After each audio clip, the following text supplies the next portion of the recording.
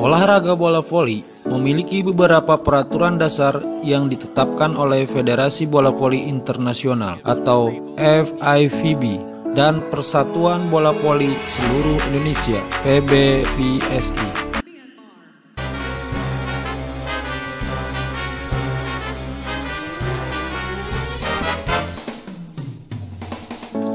Menurut PBVSI, pengertian bola voli adalah olahraga yang dimainkan oleh dua tim dalam setiap lapangan dengan dipisahkan oleh sebuah net. Tujuan dari permainan ini adalah melewatkan bola di atas net agar dapat jatuh menyentuh lantai lawan. Setiap tim dapat memainkan tiga kali pantulan untuk mengembalikan bola. Berikut ini adalah beberapa peraturan dasar dalam permainan bola voli. 1. Ukuran lapangan Ukuran lapangan bola voli adalah 9 meter kali 18 meter mengacu pada peraturan yang dikeluarkan oleh Federasi Bola Voli Internasional.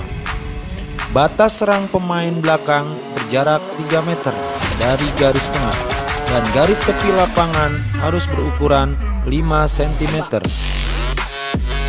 Tinggi net untuk tim putra adalah 2,43 meter, sedangkan untuk tim putri adalah 2,24 meter.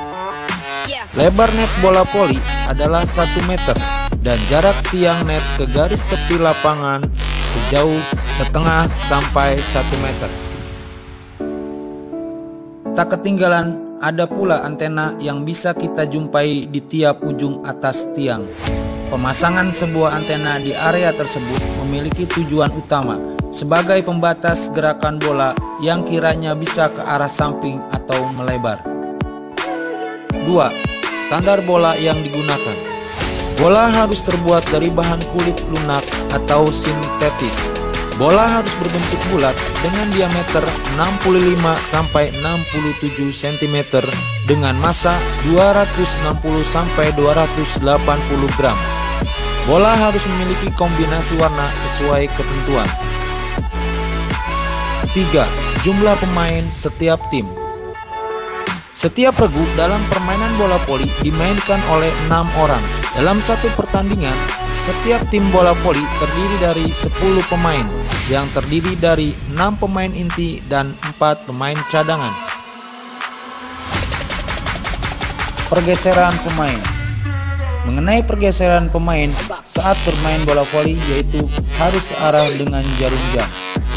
Apabila salah satu dari tim penerima servis memenangkan permainan, maka semua diharuskan untuk pindah posisi. Ketika servis dilakukan, seluruh pemain harus ada di dalam lapangan di mana dua tim sudah harus ada di wilayahnya masing-masing dengan posisi yang benar.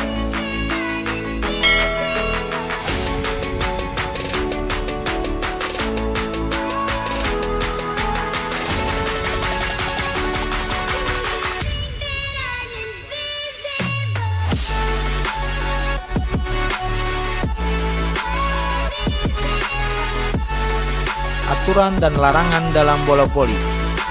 Terdapat beberapa aturan dan larangan dalam permainan bola voli yang harus dan tidak boleh dilakukan oleh para pemain. Beberapa di antaranya adalah sebagai berikut. Tiap-tiap tim diberi hak memainkan bola sebanyak tiga kali. Apabila melebihi jumlah itu dianggap mati atau poin untuk lawan. Seorang pemain tidak boleh memainkan bola dua kali berturut-turut. Jika melebihi itu dianggap mati atau poin buat lawan. Ketika pertandingan berlangsung, para pemain tidak boleh menyentuh net atau melewati batas tengah lapangan. Jika melanggar, maka tim lawan akan mendapatkan poin.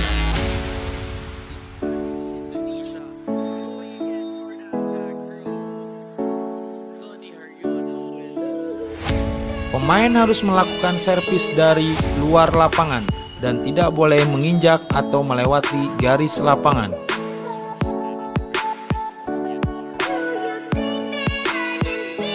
Pemain tidak boleh menangkap atau melempar bola, tapi harus dipantulkan dengan sempurna dengan menggunakan tangan, kepala, atau kaki. Bola dianggap out jika telah menyentuh bagian luar permukaan lapangan. Apabila pemain masih mampu memantulkan bola sebelum jatuh ke permukaan lantai, maka belum dianggap out. Pergantian pemain dapat dilakukan berkali-kali dan tidak terbatas.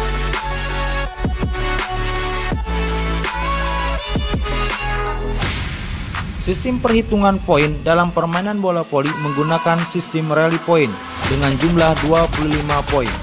Jika terjadi poin seri 24-24, maka akan terjadi juice atau tambahan hingga terjadi selisih 2 poin.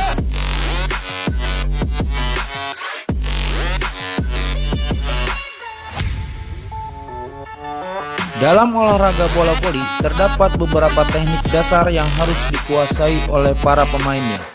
Adapun beberapa teknik dasar permainan bola voli adalah sebagai berikut.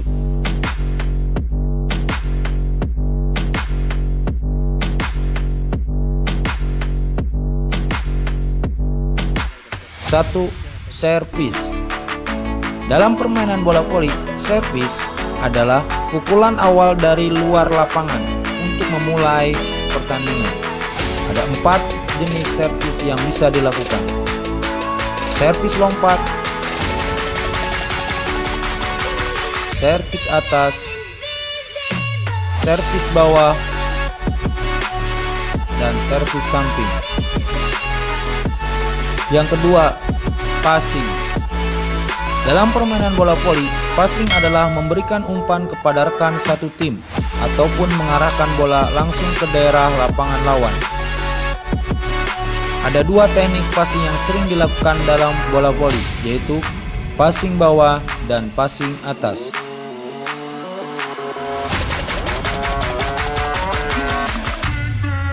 Tiga, smash. Dalam permainan bola voli, smash adalah teknik menyerang dengan cara memukul bola sekeras mungkin agar bola tersebut jatuh ke daerah lapangan regu lawan.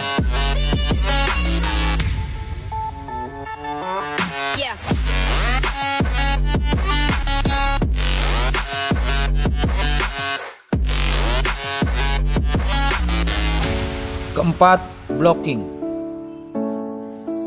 Dalam olahraga bola voli, blocking adalah teknik bertahan untuk menghalau serangan smash dari lawan agar bola tidak melewati net. Selain itu, teknik blocking ini juga bertujuan untuk menjatuhkan bola ke dalam lapangan lawan. Blocking hanya dapat dilakukan oleh pemain yang berada pada posisi depan garis serang. Sedangkan pemain yang berada pada posisi di belakang garis serang tidak diperbolehkan untuk melakukan blocking.